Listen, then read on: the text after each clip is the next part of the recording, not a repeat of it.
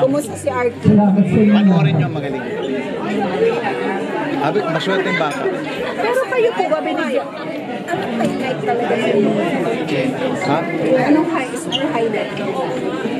Magugulat ka. Iba siya sa the usual mong Filipino movie. Halo-halo siya.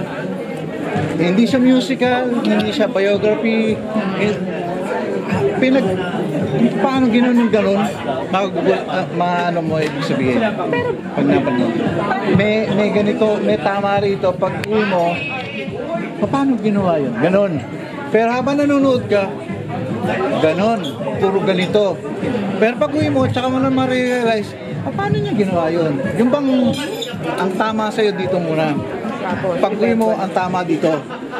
Oo, oh, isipin mo. Yeah, yeah, yeah. yeah. Si Direk, ang, marami naman siya, hindi nga mapagkasi.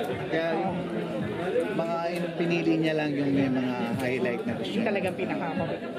Pero kayo po ba binigyan kayo ng say dito kung sinong gusto nyo gumanap talaga sa inyong ah, Hindi, ang biro ko lang sabi ko, baka si Piolo Pascual na lang. ah, talagang si Viola? Joke, joke, Bakit joke. hindi natin pinuhos? Okay. Lagi kong joke sa entablado. Pero hindi nyo ba naging, Nagkakamalan ako si Piolo Pascual.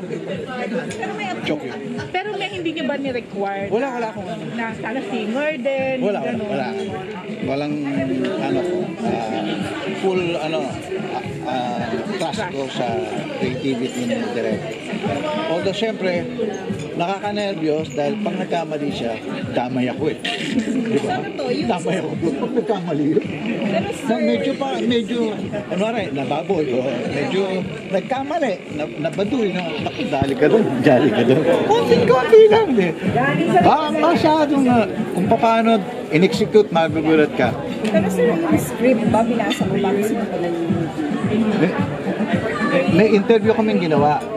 So ako muna yung mukhang makikita mo eh. Parang mukhang akala mo documentary lang. Akala mo. Para, hindi. Ang, ngayon, yung script, siyempre siya na yung nag-ano.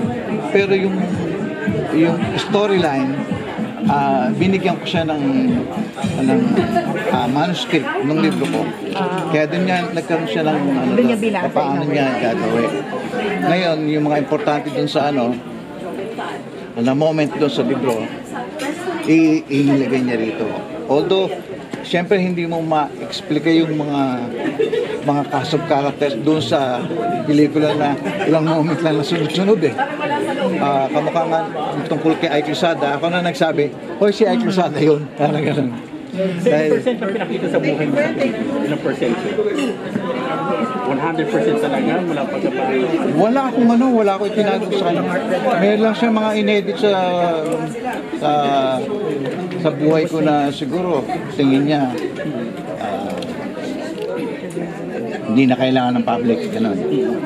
Kamukha nung hiwalay ako sa asawa, hindi, Ah, hindi na sinama yung mga baka hindi na. Hindi,